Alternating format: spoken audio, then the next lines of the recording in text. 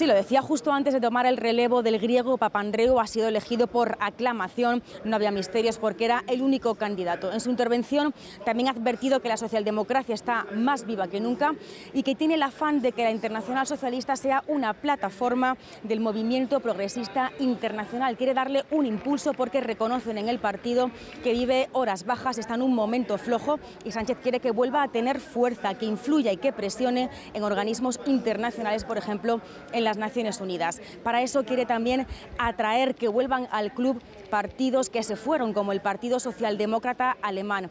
El Congreso dura todo el fin de semana, el día fuerte va a ser el domingo, cuando Sánchez ya intervenga, ya elegido como presidente y estará arropado por ministros y también por varones socialistas.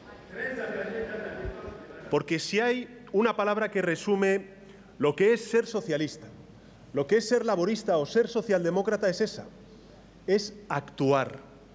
Actuar significa rebelarse contra la resignación y dar, por tanto, motivos para la confianza frente al pesimismo que pretende abonar la derecha.